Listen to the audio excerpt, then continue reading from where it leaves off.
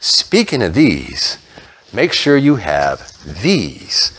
Make sure you have different style of gloves for different types of situations. Some that are maybe fireproof, some that maybe have, you know, the hard backing on the back. So if you're chopping, sawing something along that lines, you know, you're protected. All right. Just your basic, you know, you could have your carpenter gloves where you have a few fingers free if you're just doing some basic work and things. But you want to make sure that you protect. These are very important. All right, moving on down the line let's talk about trash bags. You can buy these carpenter bags. You can get them between three to six mil. All right. The thicker, the better. Three mil will work just fine. You could build shelters with this. You can use these to cover windows. Um, you can use these for just about anything and they come in handy. You always want to make sure that you have some of these carpenter trash bags and you, the thicker, the better. The six mil are very hard to find and are very expensive. Three mil will work, but if you can afford the six, go with it. All right, moving down that same type of line with a shelter or that type of stuff, Tarps are going to be your next best thing that you want to make sure that you have. And here's the reason why, folks, okay? after a storm comes through or something, you may have to put up a tarp over a window if you didn't have hurricane shutters.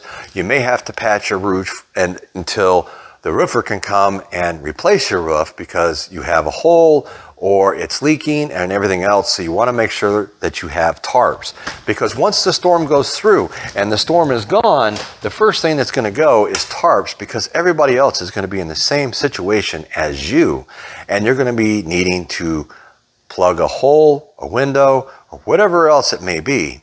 This way here, you can take care of it yourself. You already have your product.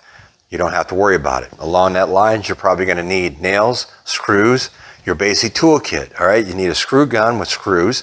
You also need extra batteries for that. You need hammer, nails, um, extra piece of plywood probably wouldn't hurt that you can cut down and use it in case you just need to do one little window or maybe you need to do the whole window. You want pliers, you want different types of, I have several different sizes, wrenches, your Phillips and straight head screwdrivers, and you should be pretty much good to go. You kind of can cover the basics on that.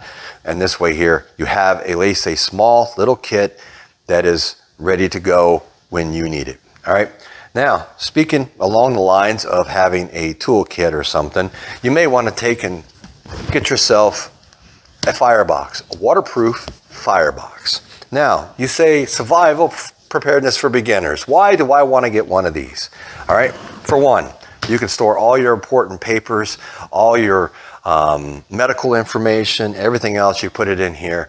And it's fireproof, it's waterproof, you don't have to worry about it. If you have to leave on a moment's notice, it is ready to go when you are. It has a handle right here. Just make sure you have the keys with you or, well, you're not getting in it. And you want to make sure that you store all the different types of things. You know, you could put some pictures in here, jewelry. One thing that I would suggest doing, I would buy a external hard drive for your computer system. And if you have a home computer, not like a laptop that you can take with you, buy one of those. This way you can back everything up on that. You put that bad boy in here. And this way here, no matter where you go, if you have to access your insurance information, your health information, and all this kind of stuff, you can whip that out, plug it into any computer, and access that information in an emergency type situation if you need proof of different things. You also want to make sure that you do have copies of anything that has to do with any of your animals. You will need proof if you're going to go to a shelter that your animal has had its shots and all that kind of stuff and everything is up to date with your animal and that your animal is registered with your local town. So you want to make sure that you have that information, have them email it to you so maybe you can access it through your phone, but also have copies of it stored inside of your Firebox.